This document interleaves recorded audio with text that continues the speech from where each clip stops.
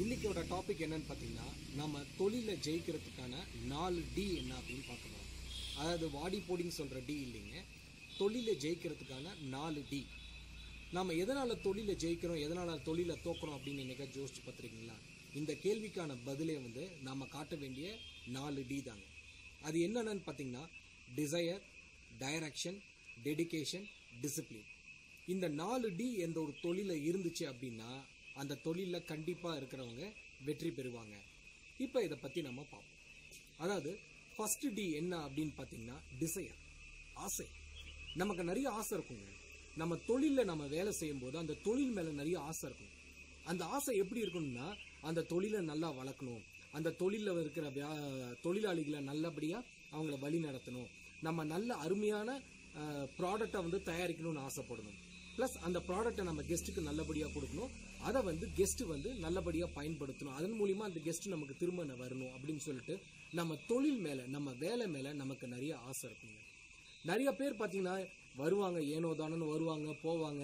அந்த வேலையை வந்து பார்த்தீங்கன்னா சம்பளத்துக்காக போய் வேலை செய்வாங்க. அதில் எந்த ஒரு ஆசையுமே இருக்காது. அந்த மாதிரி இருக்கும்போது அவங்களால பெரிய லெவலில் ஜெயிக்க முடியாது. என்னோட நண்பர் ஒருத்தர் வந்து சொன்னார் ஒரு மணி நேரம் நீ சந்தோஷமா இருக்கணும்னா உனக்கு பிடிச்ச விளையாட்டை போய் விளையாடு நீ சந்தோஷமா இருப்ப அப்படின்னாரு. ஒரு மூணு மணி நேரம் வந்து சந்தோஷமா இருக்கணும்னா ஒரு சினிமா தேட்டருக்கு போய் படம் பாரு நீ சந்தோஷமா இருப்ப அப்படின்னாரு. ஒரு நாள் சந்தோஷமா இருக்கணும்னா ஒரு பிக்னிக் போங்க அப்படின்னாரு. ஒரு வாரம் சந்தோஷமா இருக்கணுமா? எந்த வேலையும் விட்டுட்டு குடும்பத்தோட எங்கேயாச்சும் ஒரு ஹாலிடேக்கு போயிட்டு வாங்க சந்தோஷமா இருக்கலாம் அப்படின்னாங்க. ஒரு மாசம் ஆனந்தமா இருக்கணுமா?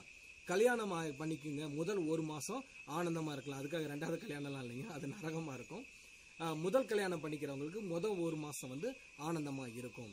ஏன்னா ஆசை அறுபது நாள் முகம் முப்பது நாளுங்கிறாங்கல்ல. அது மாதிரிங்க. ஒரு வருடம் வந்து சந்தோஷமா இருக்கணுமா அப்படின்னா அது நம்ம கையில் இல்லைங்க. நமக்கு யாராச்சும் ஒரு பெரிய கிஃப்டா கொண்டு வந்து கொடுத்தாங்க அப்படின்னா ஃப்ரீயா கிடைச்சது அப்படின்னா ஒரு வருஷம் கூட நம்ம நல்லா ஆனந்தமா இருக்கலாம். திடீர்னு அதிர்ச்சி ஆச்சரியமா நமக்கே ஒருத்தர் ஒரு பெரிய சொத்து கொடுக்குறாங்க அப்படின்னும் போது ஒரு வருஷம் நம்ம சந்தோஷமா இருக்கலாம். ஆனா வாழ்நாள் முழுக்க நம்ம வந்து சந்தோஷமா இருக்கணும் அப்படின்னா நம்ம செய்யற தொழிலையும் நம்ம செய்யற வேலையும் நம்ம ஆசைப்படணும். அதுல ஆசையோட வேலை செஞ்சா மட்டும்தான் வாழ்நாள் முழுவதும் நம்ம சந்தோஷமா இருக்க முடியும். ஓகேங்களா?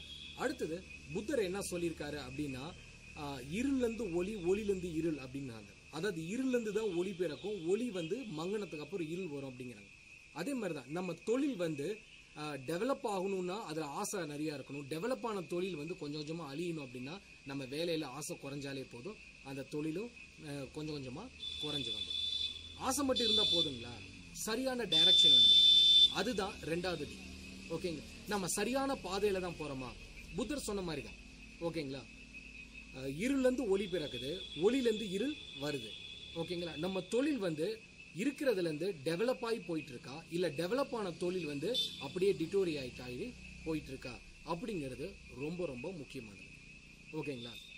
சரியான பாதையில தான் நம்ம போறோமா? நமக்கு என்னதான் ஆசை இருந்தாலும் ஓகேங்களா?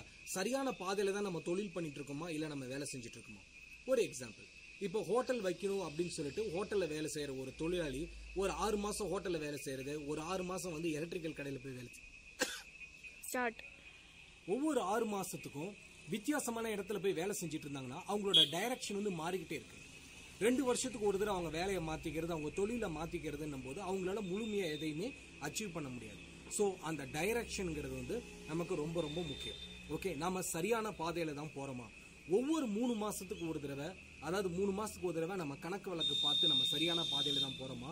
நம்மகிட்ட இருக்கிற வேலையாட்கள் நம்மகிட்ட இருக்காங்களா? அவங்களாம் சௌகரியமா இருக்காங்களா? நம்ம தயாரிக்கிற ப்ராடக்ட் சரியா இருக்கா? அது சரியான கஸ்டமரை போய் சேருதா? கஸ்டமர் ஃபீட்பேக் என்ன வந்துட்டு இருக்கு இல்ல நம்ம வேலை செய்யறோம்னா நம்ம வேலையில முன்னேற்றம் இருக்கா? நம்ம கொஞ்சம் கொஞ்சமா கத்துட்டு இருக்கோமா திறம்பட செய்யறோமா முதல் நாள்ல ஆறு மணி நேரத்துல செய்யற வேலையை ஒரு வாரத்துக்கு அப்புறம் அஞ்சு மணி நேரத்துல செய்யறோமா ஒரு மூணு மாசத்துக்கு அப்புறம் அது ஒரு நாலு மணி நேரத்துல வந்து துரிதமா செய்யறோமா கம்ப்ளைண்ட்ஸ் இல்லாம செய்யறோமா அப்படின்னு சொல்லிட்டு நம்மளோட டைரக்ஷன் கரெக்டா இருக்கா அப்படிங்கறத நம்ம செக் பண்ணிக்கோங்க மூணாவது இருக்கு இல்லைங்களா? டெடிகேஷன் ரொம்ப ரொம்ப முக்கியம்.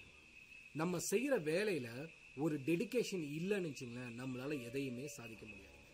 ஓகேங்களா? நிறைய பேர் வந்து வேலைக்கு வருவாங்க அதுக்கப்புறம் அவங்க என்ன செய்கிறான்னு அவங்களுக்கே தெரியாது. ஏதோ மேம்போக்கா ஏதோ ஒரு வேலை செஞ்சுட்டு போவாங்க. அது மாதிரி இருந்ததுன்னா அந்த இடத்துல டெடிகேஷனே கிடையாது. எந்த ஒரு அச்சீவ்மெண்ட்டையும் நம்ம கொண்டு வர முடியாது. வேலை செஞ்சுக்கிட்டே இருப்போம். மேனேஜ்மெண்ட்டும் இவனை வேலைக்கு அனுப்பக்கூடாதுன்னு ஏதோ சம்பளம் கொடுத்துக்கிட்டே இருப்பாங்களே ஒழிய நம்ம கொடுக்குற சம்பளத்துக்கு இவன் ஒர்த்தா வேலை செய்கிறான் அப்படின்னு நினைக்க மாட்டாங்க. அப்படி நினைச்சா நமக்கு வந்து இன்க்ரிமெண்ட்டும் ப்ரொமோஷன் வரும். ஓகேங்களா? அது இல்லாமல் ஏனோ தானோன்னு வேலை செஞ்சுட்டு இருப்போம் நாம பாட்டுக்கு வேலைக்கு வருவோம் கையெழுத்து போடுவோம் எப்படா டீ பிரேக் வரும் எப்படா லஞ்ச் பிரேக் வரும் எப்போ வேலை முடியும் நம்ம போகலாம் அப்படிங்கிற மாதிரியே நினைச்சிட்டு இருப்போம் அந்த இடத்துல டெடிகேஷன் கிடையாதுங்க.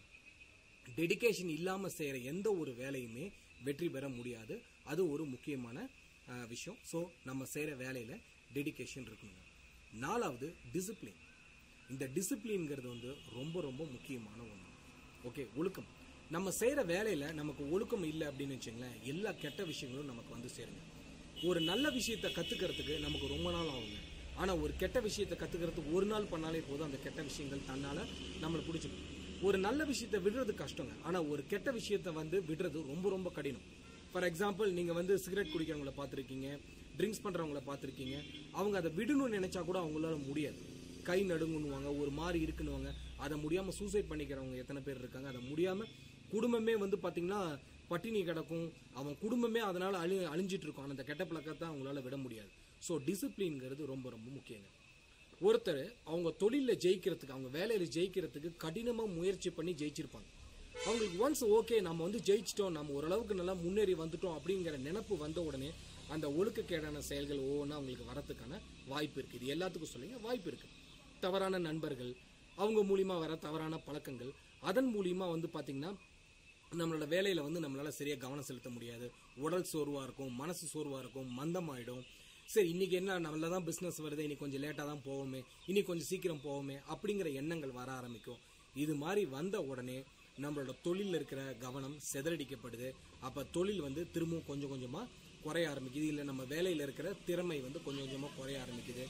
அப்போ நம்மளோட கம்பெனியோ நம்மளோட வேலையோ லாஸை நோக்கி போக ஆரம்பிக்கும் ஸோ இது மாதிரி போகாமல் இருக்கணும்னா நமக்கு நல்ல ஒழுக்கம் இருக்குங்க இதுதான் நான் தொழிலில் நாம் காட்ட வேண்டிய நாலு டி திரும்பவும் சொல்கிறேங்க desire then direction dedication discipline இந்த நாளும் எந்த ஒரு வேலையிலையும் தொழிலையும் நம்ம காட்டுறோமோ அந்த இடத்துல வெற்றி நிச்சயம். இதை நாளும் காட்டும் போது நாம நல்லா இருப்போம். நம்மளோட சேர்ந்து நம்ம குடும்பமும் நல்லா இருக்கும். நம்மளை சுற்றி இருக்கிற எல்லாருமே நல்லா இருப்போம். ஸோ இன்னிலேருந்து நாமளும் நம்ம தொழிலையும் வேலையிலையும் இந்த நாலு டியை கண்டிப்பாக கொண்டு வருவோம். தேங்க்யூ